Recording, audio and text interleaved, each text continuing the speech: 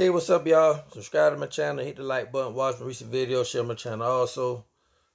Just wanted to do a little breakdown video of Micron Tech Technology. I just read an, an article on it stating that this, you know, in a good for November, that this is one of the tech stocks to be buying. And as I do my do or did my research, that is sort of true. Right now it's trading at $104.48. As you can look at the 52 week range, you got a 52 week low of 72.93 and a high of 157.54.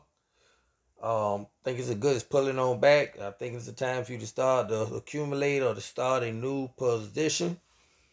Right now at 104 and 154, you got a up 157, you got an upside of what $53 a share. Uh, the analyst got this rated a buy. It, it has passed the last uh, two earnings, second and third quarter earn, earnings, B earnings in the second quarter by 9 cent, and third quarter by 7 cent. I really want to deep dive all the way into the earnings thing, but average average volume is 21.87 billion, regular volume is 22.52, so this stock does have a lot of traffic in it, which makes it perfect for trading. Got a lot of growth with it. Um, PE ratio 149.26. Um, market cap 116 billion, which is perfect. Um, dividend yield 0.44 percent. So not paying out a huge div dividend, but they probably do, which I got to go search. Not gonna do it in this video. They're probably doing uh some share buy buy buybacks. That's when a company uh buy back shares that are giving out a dividend. They'll just you know reinvest the, the the profits back into the company and raise the stock price for the share for the share share shareholders. Um. So it looks like say it's a company that reinvests its profit back into the company versus paying out a dividend. So, um,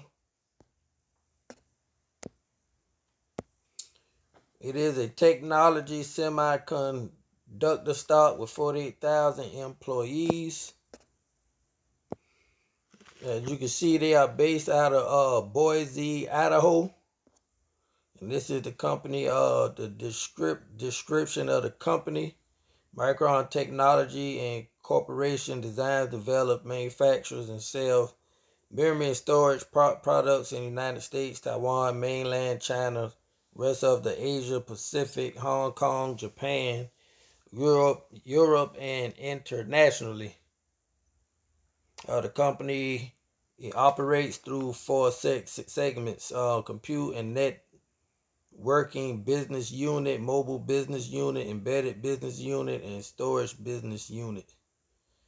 And you can pause this video and read all other stuff. Nice paragraph for you to read.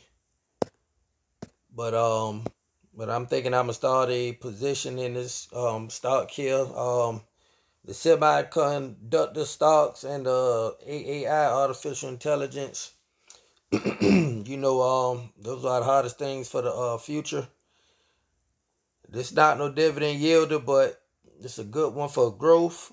And I think I'm going to get into it, do a recurring investment on it so I don't have to watch it or buy it. Just let it take probably $3 a day out, out of my account. And the days when it's down, I can double up.